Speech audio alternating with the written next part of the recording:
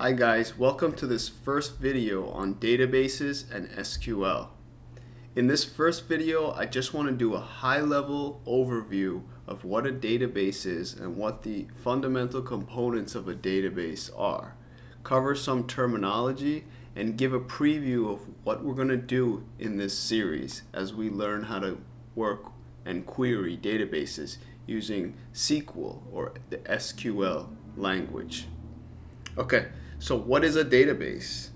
A database can be defined in a few different ways. You can simply think of a database as a collection of data stored in some organized fashion. A database is a container, usually a file or a set of files that stores data in an organized fashion. So what is a database management software or DBMS? DBMS, you might come across this acronym. That's the actual software you're using to actually access the database. So you need to kind of separate these two thoughts, these two objects. A DBMS is actually the software to access and manipulate the database. Okay, so you create the database using a DBMS, like right now I'm using Microsoft Access, just because I have access to Access. But other common DBMSs that you'll come across are SQL Server from Microsoft, MySQL, MySQL, Oracle, PostgreSQL, Sybase Adaptive Server. These are a few among many other DBMSs. Okay? All right, so now that we're kind of established on uh, the, the fact that I'm using Access and what a database generally is, let's go through some of the basic components. Um, in any database, you're going to have tables. A table is a structured file that stores data of a specific type. So let me let's take a look at what I have here. I have tables here. As you can see, uh, Access organizes the tables along this little margin over here on the left side. I have six tables here I created for the forthcoming examples I'm going to be working with you through. Um, I could double click on these tables and you could see what they look like. I have clients, items, order items, orders, and suppliers. So between these five tables, I should be able to do and illustrate a lot of different functionality using uh, SQL to do uh, querying. Um, within each table, so let's just take orders for example, uh, let's take items for example. I have columns and rows. Columns are sometimes referred to as fields, and rows are referred to as records in database lingo. So I have item ID, supplier ID, item name, item price, item cost, and then I have about, I think we can see here actually, we could cheat 11 rows of records. Now, this is the data sheet view. That's what Excel uh, Access rather calls the data sheet view you can go to the design view, which is what I used to create this table before I started populating it with actual data and see how it was designed. So here you see those field or column names and here you see the data types. So the data types allow you to restrict the type of data that can be put into a particular field. So if you have something like item price, that's a currency. Item cost is a currency. So we can restrict the input of data into that field to be a currency, whereas the name of the item, IDs, uh, can be short text. You have further control down here on the field properties, and you can get very deeply involved in this, but that's not the intention of, of this video here. Uh, so you have a lot of control in creating your table, the structure of it, designing it, what Access calls designing it. And then you'll notice a little key here, And what that key is, that's called a primary key. So a primary key, every table should have at least one of these. This is a column or a set of columns that uniquely identify every row in a table. So there will never be a case where you'll have duplicate rows because the primary key will always be different for each row. So it'll uniquely identify the rows. And if in case there is an issue, you can have two. Like in one of my tables, I actually have two, two primary keys. Okay, so going back now to datasheet view up here, I see the actual structure of my table and then I actually started populating the table with some records, rows, right? So I did the same basic thing for the rest of these tables. I'll flip back and forth to datasheet view and design view and you could see how I designed it. Here I have two primary keys. You see the data types I used to restrict input in each of the fields. So I gave a little bit of thought to this, uh, but not too much. You can get much more involved, like I said, with this field properties section um, for all of these tables. Okay, that's great. So you need tables. That's a very fundamental building block of a database. If you think of a database as like a filing cabinet, you need files to go in it, right? And that's what the tables are. Now, the actual records in each table you could think of as the actual pieces of paper inside the folders or files that go inside the database. And now you're starting to build up maybe a, an analogy with a, a, real world kind of, uh, sorry, a more tangible uh, example of a filing cabinet. Okay, great. Um, now, it's not enough to just have tables. That would be pretty boring and um, it could it could be still useful actually to just store stuff. But ultimately, what we want to be able to do is use our database, harness its power to ask questions from it and pull information that we want out of it. So, in order to do that efficiently, we need these tables to speak to each other. Okay? And what I mean by speak to each other is, is we need to define the relationship define some kind of relationship uh, between these tables. These aren't completely unrelated things.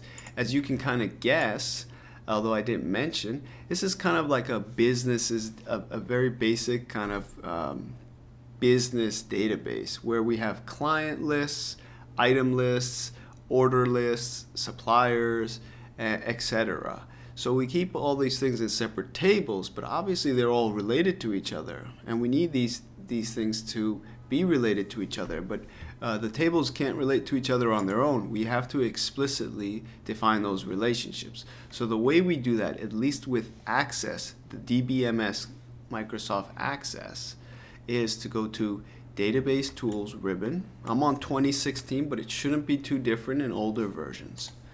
And then you see the relationships group, pick relationships, and here you can actually, I'll clear it out and show you from scratch. So you could say, so you would start with a blank slate because you haven't defined relationships. Show table, and you could add all your tables if all of them are going to be related to each other.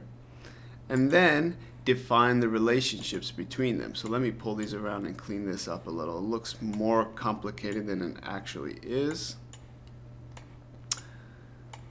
Okay, and I'll tell you what all this stuff means. So, so these boxes clearly represent the tables that we were just talking about, right?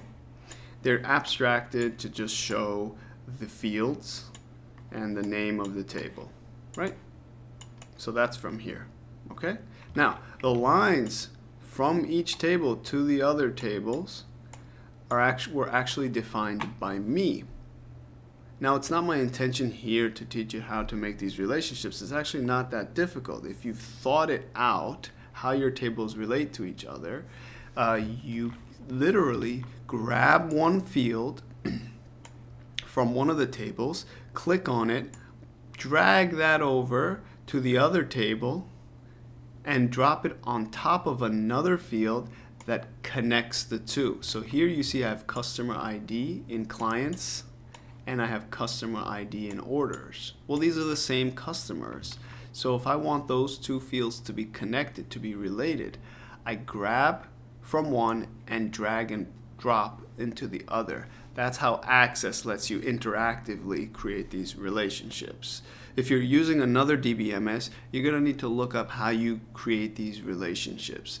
So, um, yeah, and then you see the one and the infinity. What that means is you should read that as one, to, many. Okay, so we have a client list here. So there, there are clients here. There's no duplicates. So for example, if, if I'm one of the clients, I'll show up only one time in this table. But I might make an order I, I might have made an order last year and then an, another order um, a few months ago. So I might have made two or three or four orders. So I'm not going to show up more than once in the clients table, but I'll show up multiple times possibly in the orders table. That's why we have a one to many relationship. Okay, and the same logic goes for the rest of these. So you have to sit down when you create your database after you've created the tables or while you're actually thinking of tables to create and think about how those tables are going to be related to each other.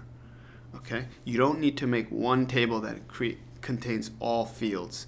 That might not. That's a very messy way to go about it. You create separate fields that are focused and then let those fields talk to each other vis-a-vis these relationships okay? Once these relationships are defined later on when I do when I'm creating queries this will aid in being able to pull different information from different tables into one place if that's what I'm after okay? So again this is a high level video here so I'm not gonna dwell on any single one of these topics uh, so we have tables now, and and then finally, I want to maybe end this uh, part, this first video on talking about querying. So once a database is created, meaning once tables are created, tables contain fields, fields uh, are uh, uh, tables are populated with actual data, actual rows are we have actual records like like we do in our in our table uh-huh.